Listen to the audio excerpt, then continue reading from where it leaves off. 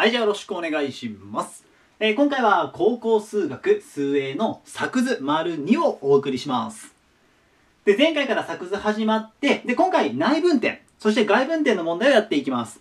なので、できそうな子はね、ぜひ動画を止めてもらって、で、今回、長さの指定またありませんので、線分2個書いてもらって、ぜひやってみてください。で、ちょっと確認してもらって、厳しいと思う方は、今からね、自分の方が解いていきますんで、聞いてもらえたらと思います。いいかな？ほんじゃ、早速ね、まず1番、内分点からやっていきますので、どうぞよろしくお願いします。よし、じゃあ行きましょう。で、今回まあ AB がこう与えられてて、1対3に内分、1対3に外分する点を探していきます。で、まず内分点なんで、結論ね、ゴールとしては、これを1対3だからさ、まあ1対1、2、3、まあこの辺だよね、きっとね。ここに P があるんです。で、それを書きたいんですけど、どうやるか。まず、定規です。で、今回も、あの、専用の持ってないんでフリーハンドでなっちゃうんですが、え、定規の後が青。で、コンパスが赤で書いていきます。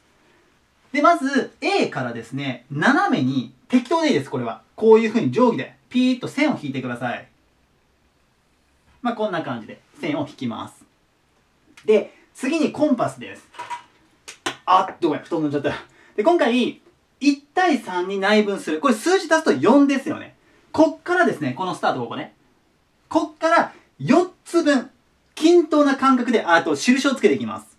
で、あんまり大きいと入らなくなるので、程よいちょっとね、ちょっと狭め。で、あんま狭くすぎるとね、今度見にくくなっちゃうんですけど、まあ、適当ないい感じで開いてもらって、刺してシュ、刺してシュ、刺してシュってふうに後をつけていきます。同じ感覚でね、変えちゃダメだよ。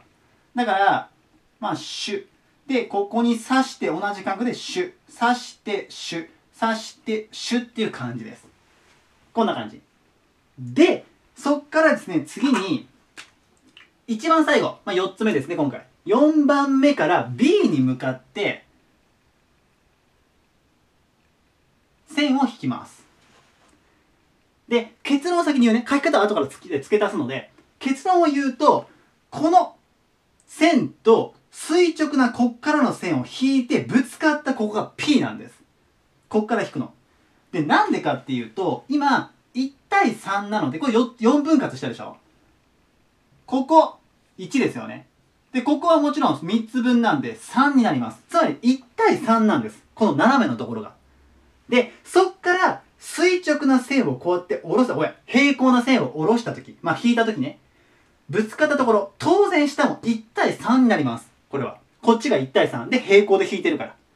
で、P、OK じゃんと。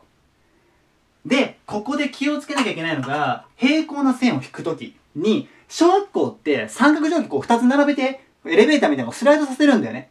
でもあれはダメですって、やったら。って言いたいんですけど、実は塾講師やってる時に、担当の生徒の学校の先生、一人だけ OK って言った先生がいて、まあ、それあの、先生じゃね、生徒からね、聞いた話なんで、本当かわからないんですけど、いたらしいんですが、ダメです、基本的に。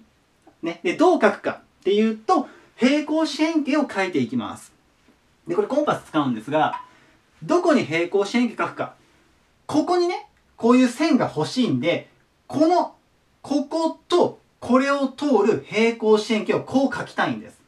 で、今、この長さと、この長さは決まってるから、まず、ここ、コンパスで測り取ってください、この長さ。青のとこね。測ったら、ここに刺して、測るよ。刺して、シュッてやります。えー、シュッてこの辺、入ってる下。あ入ってるね。で、次にコンパスまた今度ここを測って、刺してシュッてやります。シュッて。で、そこ。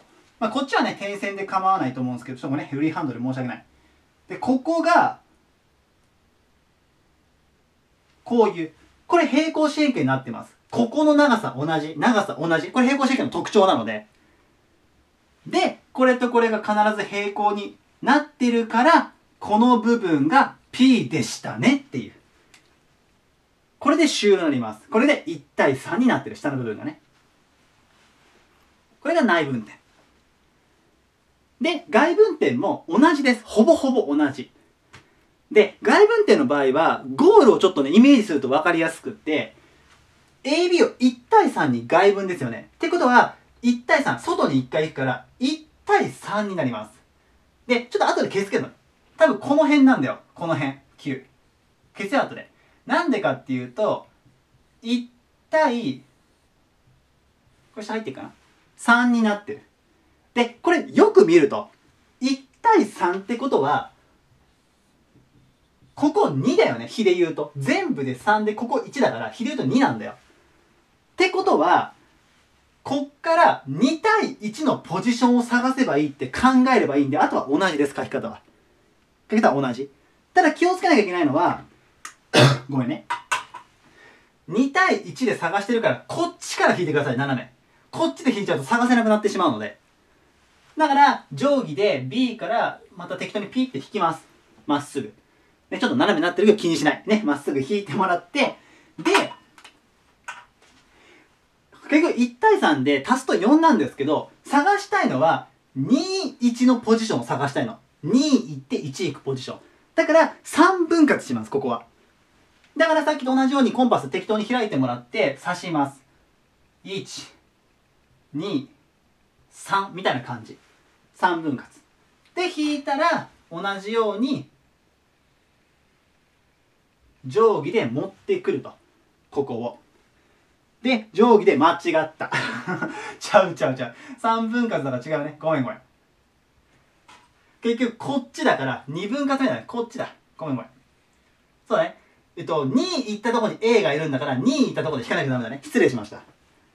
で、さっきと同じように、これと平行な線をここに引きたいの。こうやって。ピーって。で、それと、ちょっと伸ばしておこう、先にね。ちょっと消しちゃうよ。いいかこれを伸ばしておいてこいつとぶつかったところに9がいます。よいしょ。で書き方はさっきと同じです。平行四辺形なんでね。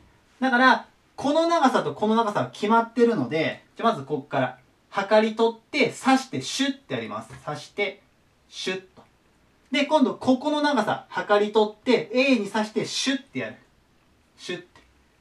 で平行四辺形普通に書くとこうなっちゃって届かないんで、これをピーって伸ばしてあげればいい、ここまで。ね、だって平行には変わりないから伸ばしても。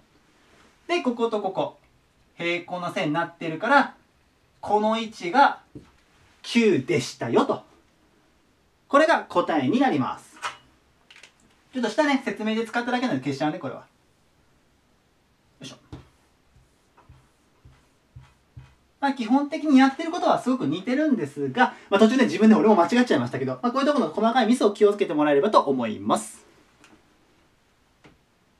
では、今回は高校数学数 A の作図丸2をお送りしました。えー、今回もね、ここまで見ていただいて本当にありがとうございました。で、作図ね、ちょっとね、まだまだ続きますので、次回、丸3の方ももしよかったらご覧ください。では、今回はこれで終わります。以上です。ありがとうございました。